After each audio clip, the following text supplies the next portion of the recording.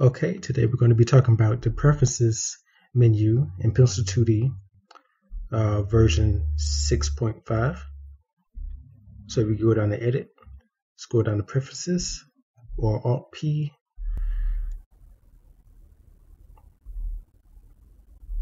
Now in your Preferences, you have five tabs, uh, five categories on your left hand side of the screen under preferences. They are categorized as general, files, timeline, tools, and shortcuts. So we're looking at general right now. You can choose your language. I chose English. And at the bottom you have window opacity. So if you're tracing something that uh, tracing a window that's beneath the 2D window, you can just scroll it down Okay. Now appearance, you have shadows. So if I click this, you see a shadow shows up around your canvas. Uh, cursor tools. Uh, go to. So right now it's just a plus, but if I hit tool cursor, it's going to show me the cursor I'm currently working with. When you hit dotted cursor, a circle of dots surround your cursor. If you don't want that, you just uncheck that.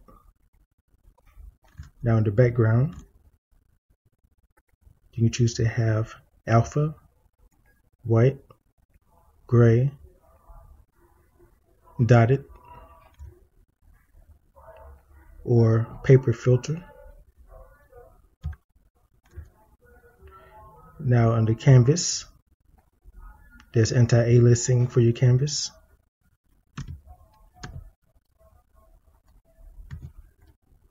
That's that there. That's with anti-aliasing on. And if I turn it off, I usually leave it on.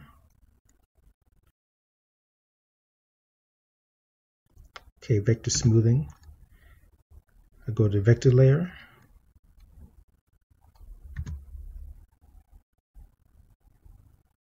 Is currently up high, so so that's just the intensity of the smoothing that you want to apply.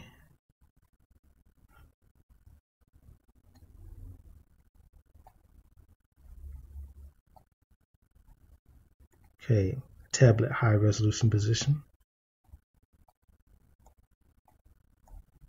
So it does move a little faster with that. Okay.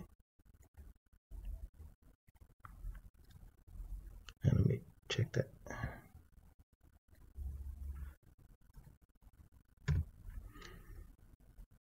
And underneath that, you have enable grid and your settings for your grid. So if I enable that, or you hit G to enable the grid, you see I got my grid 30 by 30, but you can always adjust this. Let's say 100. You can see difference there. Now make this 100 and there you go. These settings here are only for this display button here. It's only for this one here. So you can choose to change those settings there. The top one is for your outer uh, margin there. This one's for your inner margin and these are for your to show your safe area labels if you wanted to check that or you uncheck it to not show it. And also advanced your cached frame number. I got it at 20 uh, I may leave it there. Now onto files. Now this is pretty handy here you can choose to ask for these uh, startup settings as soon as you open Pencil 2D. I've already set two of them. I have one resolution for thumbnails, so as soon as I open this, it will uh, already be presetted for me to make thumbnails of my drawings or animate thumbnails. It's already set for that. and standard resolution um, where I will regularly do my animating on. So I already have those settings uh, made up there. You can choose to add more presets by hitting those, or you choose to delete some. Oops. Oh well. or you choose to hit those like that. Um, okay. You got enable autosave. And it, this would be pretty handy if you had this enabled because Pencil 2D will um, crash on you without warning if you're not careful. So it's always good to have a uh, autosave on. And you can modify the number of modifications before auto saving. So let's say you make a hundred different changes before the next auto save, So it can be saved periodically based on the number of modifications you have down here. Let's go to timeline. The timeline length, you can change this to a thousand or whatever number you want. And this would be a good idea to do if you know how long your scene is going to be in frame, so you can adjust that. You have your short scrub, so if you hit this, that's talking about this on the timeline. So if I hit this, it'll make it longer. If I hit it again, it'll make it short. Or you can just double click on the scrub. Okay, when drawing on an empty frame, you can choose to create a new blank keyframe.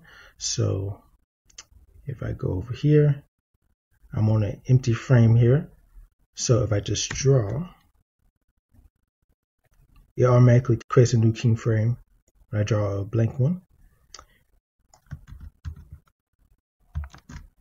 Okay, now you can choose to duplicate previous frame when I draw on an empty frame here. So let's do this and so it should have copied it because if I delete this one, see it was duplicated. So, okay. And keep drawing on the previous keyframe. So if I go over here, any changes I make on this empty frame will automatically be dragged over to the previous frame or the recent frame there. So if I do this, then add a frame, you see the changes went to the previous frame. So it's up to you on uh, what kind of option you want when drawing on an empty keyframe. I usually, let's see, I'll probably choose this one. Create a new blank keyframe. Okay, your flip and roll. Uh, these go for, these are uh, referring to your flip in between and your flip rolling. I've already had them uh, short keys added to them my flip in between would be Alt A and my flip rolling would be Alt X. So if I hit Alt X, let's give it a, let's rid of these two frames.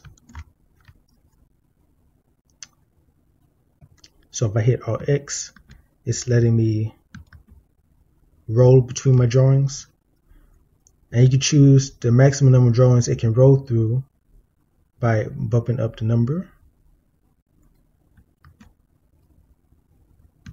So you roll through six drawings if you want to, or just three at a time. That's the lowest number you can go to.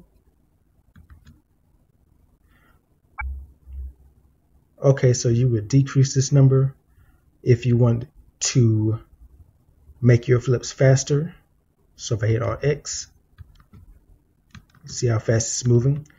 But if I want to slow up the flip rolls, I would bump it up. And this should slow down my flip rolls.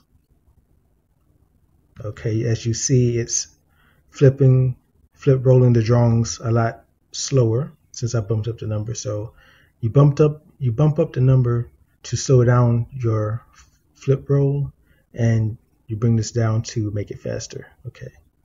Now flip in between. Let's go to this one in the middle. So if I hit Alt A, it goes to this one. So it'll go to three, four, five, and then back to four. So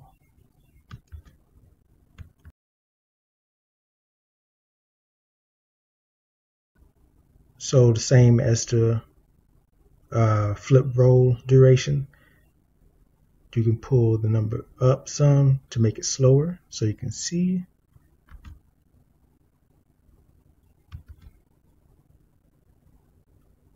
Or you can drag it down to make it faster.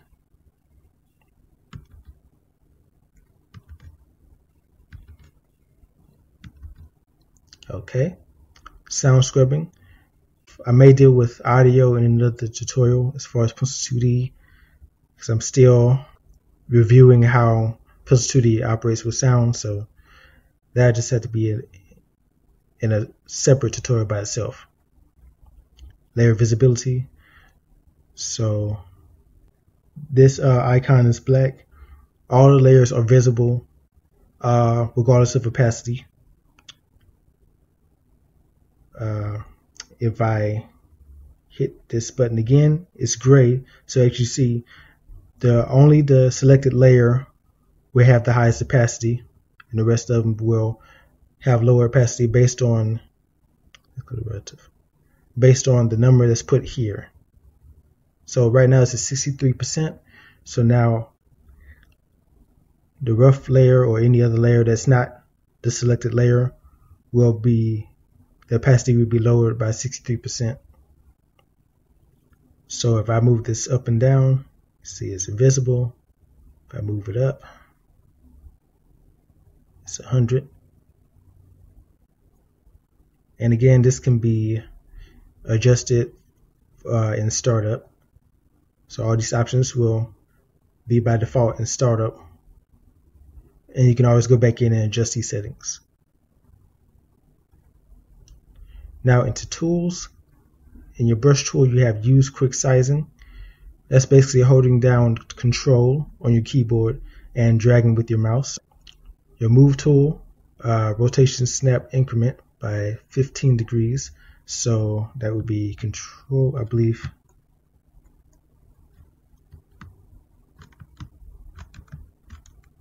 Uh,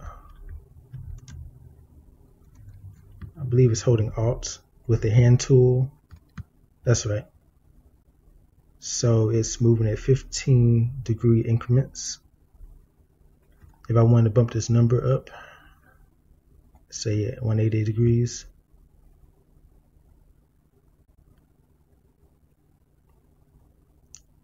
no, wait a minute. This is rotation snap increment. So this doesn't affect holding down Alt and dragging with the hand tool. That doesn't affect that. What you do is you go to view and reset the zoom and rotate there. Now, let's talk about these rotate clockwise and rotate anti-clockwise. So you hit um, these buttons here. So it's moving by 15 increments right now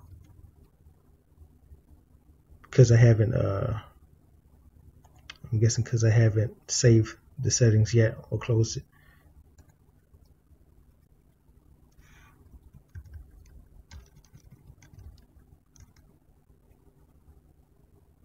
Let me see something here.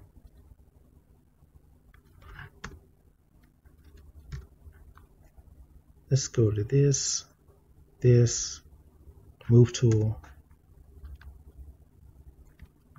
control. Hmm, that doesn't affect that either.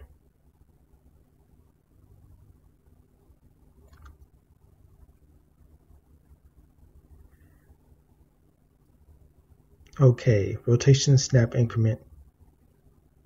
I believe it's supposed to affect um, your clockwise and counterclockwise, but I could be wrong, so I'm still experimenting more about this, but basically it's supposed to adjust your rotation snap uh, by increments of whatever numbers down here. So you are welcome to play with that uh, when you get the chance. And these are all my shortcuts. Every feature will have a shortcut key to them. Your exports, your imports, flip rolling, vertical flip, uh, my tools, my zooms, toggling between windows, different window panels, um, set to zoom. I haven't done any of these and I'm not planning to because I don't need them right now. But if you wanted to, you could set shortcut keys to these different types of zooms to make it easier for you to zoom in and out without having to drag the mouse or anything like that.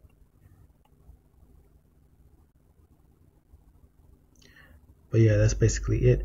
What you would do is, let's say smudge tool is Alt D. So you come down here.